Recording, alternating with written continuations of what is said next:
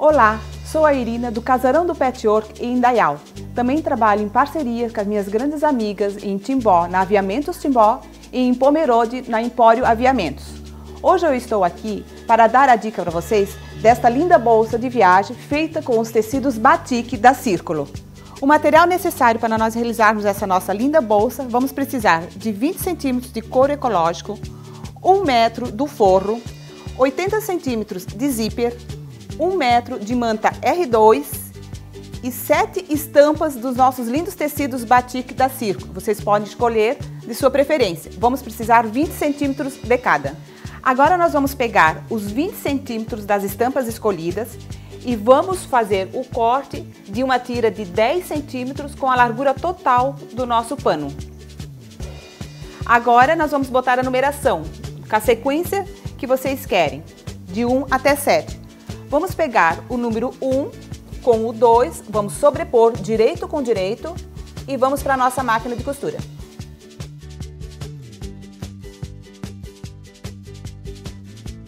Finalizada a nossa costura do 1 com 2, vamos pegar a nossa faixa número 3, colocaremos direito com direito sobre a 2 e vamos costurá-la também.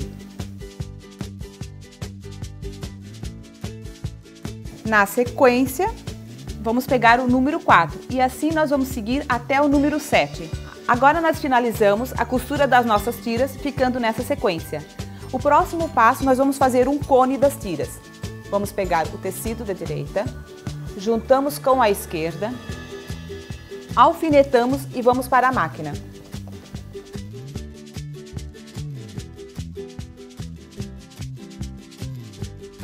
Terminada a costura, ficaremos com o nosso cone desta maneira, todo fechado. Agora nós vamos realizar o corte do nosso cone. Nós precisaremos de 8 tiras com 10 centímetros, seguindo a mesma sequência do começo. Colocamos aqui e vamos recortar.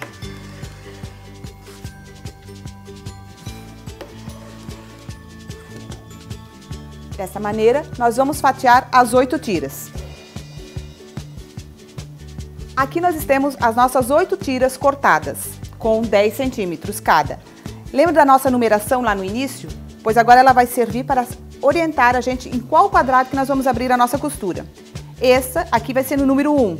Vamos abrir a nossa costura.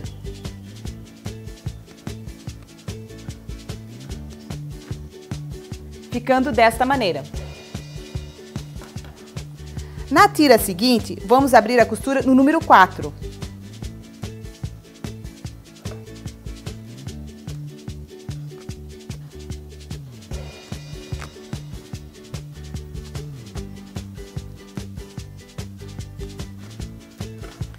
Colocando embaixo da primeira. Na terceira tira, vamos abrir no número 7. Na quarta tira, vamos abrir no número 3. Na quinta tira, no número 1. Na sexta tira, no número 5. Na sétima tira, no número 3. E na oitava tira, no número 1 verificando que os quadrados eles não se encontram na mesma cor. Agora nós vamos realizar a costura das nossas tiras. Lembrando que se nessa parte a minha costura está tombada para o lado direito, a próxima tira eu vou tombar a minha costura para o lado esquerdo. Coloco uma tira sobre a outra, vou encaixar perfeitamente os quadrados, porque as costuras estão tombadas para os lados contrários, alfinetamos dos dois lados, uma para segurar a costura da frente, a outra para segurar a costura de trás. Assim iremos fazer em todos os quadrados. E agora iremos para a nossa máquina, realizando a costura nesse sentido.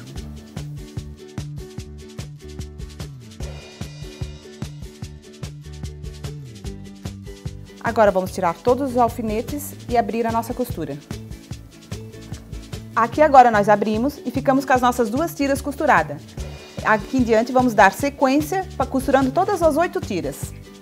Aqui temos as nossas oito tiras costuradas, pronta para levar o topo do nosso trabalho para o quilt. Para realizarmos o quilts, vamos fazer da seguinte maneira. Topo do trabalho, a manta e um forro, e podemos usar até o próprio TNT, que esse forro é para proteger a nossa máquina. Vamos lá no ferro, passaremos do meio para fora, em todos os sentidos. E vamos encher de alfinete entre os quadrados para nós podermos levar para a máquina e quiltar a nossa peça. Quanto mais alfinetes vocês colocar na peça de vocês, melhor ficará o quilt.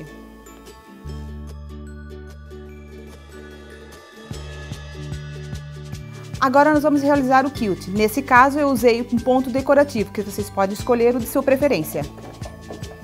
Começando sempre no meio da nossa peça.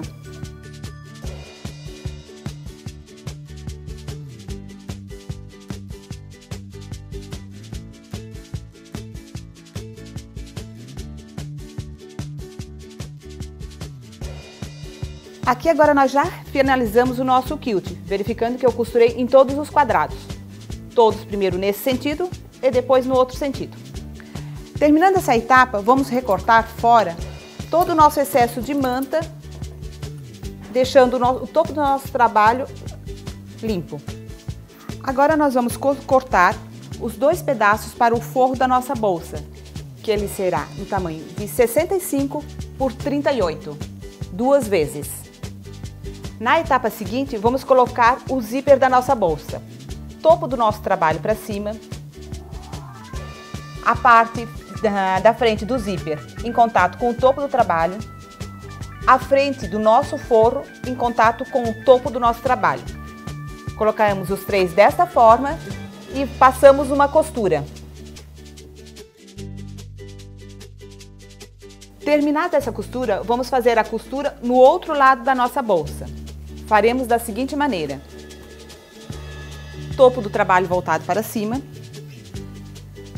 O zíper nessa maneira, a frente do nosso zíper colocada novamente com o topo do trabalho, verificando na lateral para fechar o a, na largura.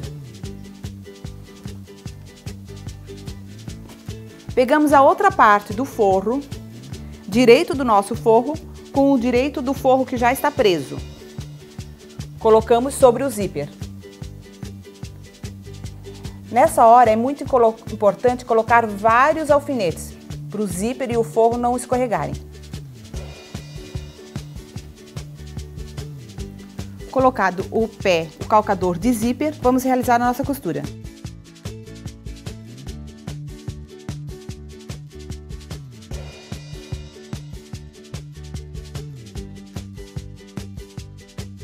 Finalizada a costura do zíper, nós vamos tombar as, os dois forros para a parte de cima e ficamos com a bolsa na parte de baixo.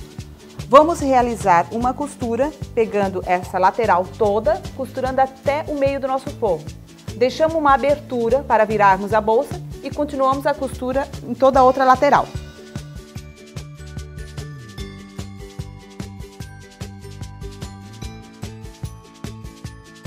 Cuidando na parte quando vai passar para o zíper, o cursor ficar para o lado de dentro da nossa bolsa.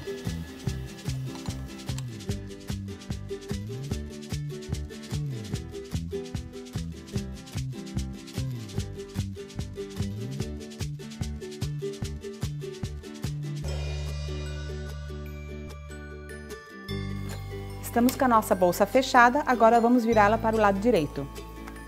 Vamos cortar o excesso do nosso zíper dois lados. E viramos pela abertura que deixamos no meio. Vamos estar com o nosso zíper aqui dentro. Vamos abri-lo para virá-lo.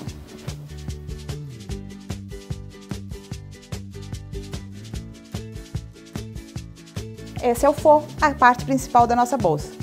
Colocamos o forro para dentro. E ajeitamos eles nas duas laterais.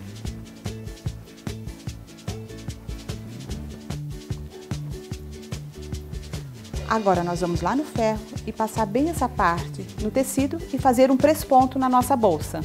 Estando passado, vai ficar desta maneira.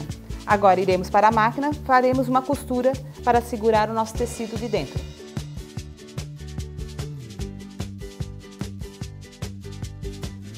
Agora realizaremos a lateral da nossa bolsa, desta maneira. Centralizamos cinco quadrados, que vai ser a nossa parte da frente, e um quadrado que nós vamos fazer este triângulo. Realizando esse triângulo, vamos abaixar para ele pegar no quadrado seguinte e colocamos o alfinete, cuidando para que o tecido do forro acompanhe esse trabalho. Vamos realizar com a parte de baixo o mesmo procedimento.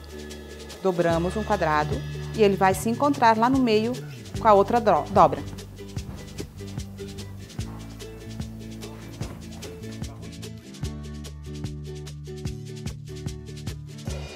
Ficando desta forma.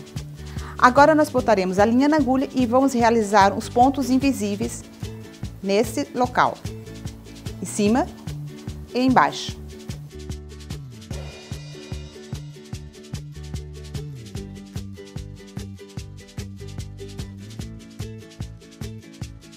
Para dar melhor acabamento na lateral da nossa bolsa, podemos colocar um fuxico ou um botão forrado.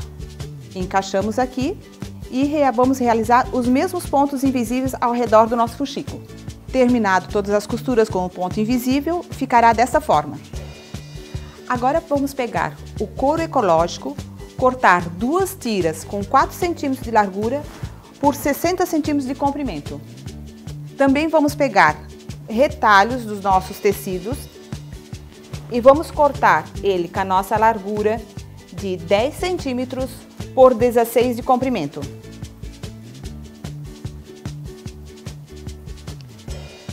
E vamos realizar uma costura entre eles, ficando desta forma.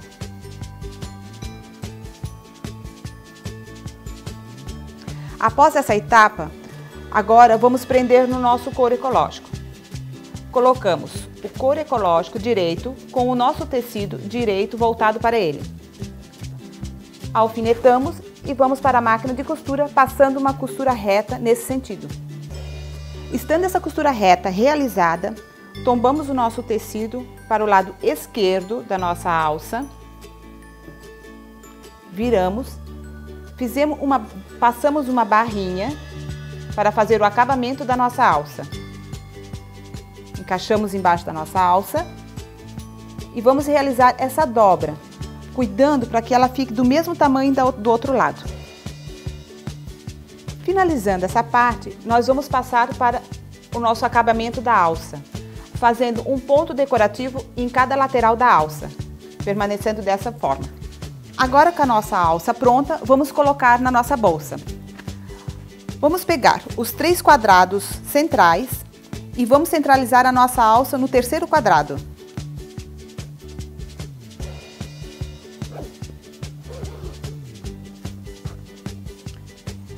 Colocando o direito da nossa alça com o direito da bolsa. Centralizamos no quadrado, deixamos com a margem de 1 centímetro para dentro para realizarmos duas costuras bem reforçadas, para ali segurar todo o peso da nossa bolsa.